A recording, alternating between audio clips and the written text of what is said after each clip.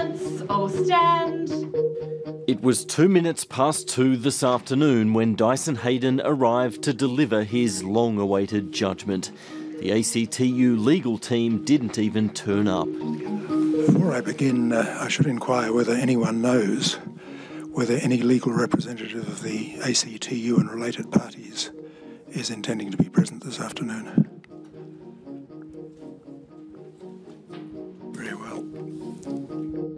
It mattered little. Their attempt to remove the Commissioner had failed. I've considered all the submissions. In my opinion, the applications must be dismissed. I publish my reasons. His reasons, in true Dyson Heydon style, are lengthy 67 pages explaining why he should remain. He says his speech at the Garfield Barwick dinner would have been non political, and by agreeing to give it, there's no basis to conclude that he is biased against the Labor Party or the unions. He says no fair minded observer could apprehend that he was intending to raise funds or generate support for the Liberal Party, and that there's no connection between the event and the matters the Royal Commission is examining. The unions, he said, had simply asserted he might be viewed as biased, but failed to prove it. Naturally enough, they disagreed. We're of the view that this Royal Commission is biased. It is a waste of taxpayers' money, and again, the ACTU and the trade union movement are renewing our calls for Tony Abbott to stop wasting taxpayers' dollars and shut it down. Much of this saga has turned on the emails Dyson Heydon received and read, and the fact that he claimed to have overlooked the link between the Liberal Party and the Garfield Barwick lecture, a link made clear on the invitation to the event, an attachment he says he didn't open. In today's ruling, the Commissioner admits that emails are not his specialty. In fact, he says he's incapable of sending or receiving them and only reads what is handed to him by his assistant. His supporters in government aren't fazed. The reputation of this great Australian has been the subject of a campaign by elements both of the Labor Party and of the union movement.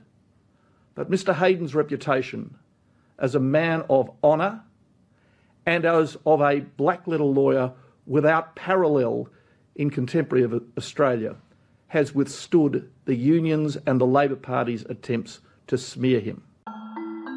Already the judgment is being questioned from an ethical point of view by those who wonder if Dyson Heydon's fair-minded lay observer is a little too reasonable.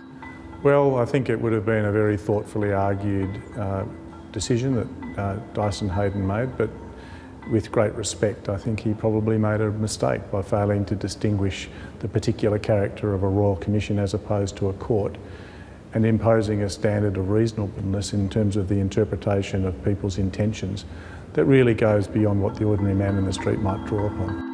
I would ask you, Commissioner, to make. What now then for a Royal Commissioner who survived a near death experience? His hearings resume tomorrow, but will the questions of bias persist? The unions and Labor will ensure they do. Despite the decision today of Dyson Heydon, the reality is that this Royal Commission is now terminally tarnished, and any recommendation out of this can't be taken seriously in respect of looking at it for the political nature of this Commission. There's no doubt that this scandal has damaged the Royal Commission beyond repair. It's clear that Australians no longer have confidence in this Royal Commission to operate free from political bias. Future witnesses might also be studying the Commissioner's precedent. He, he, made it very clear that what had happened was that he had overlooked certain uh, material facts in terms of the invitation. And he's now, in a sense, created an excuse for everybody who comes before him who has similarly overlooked things. And I think that's probably going to plague the Commissioner and this Royal Commission for the rest of the hearings, and that's most unfortunate given the importance of the issues to be addressed. Tony Abbott will do anything to attack his critics. There's one more legal avenue that the union movement is still considering. That is to seek a judicial review of today's decision in the federal or high court. Instead of the commissioner deciding his own fate, it would be in the hands of a judge. I don't think his reasons can be appeal proof, and that's because when the court looks at this case, they'll start looking at it afresh.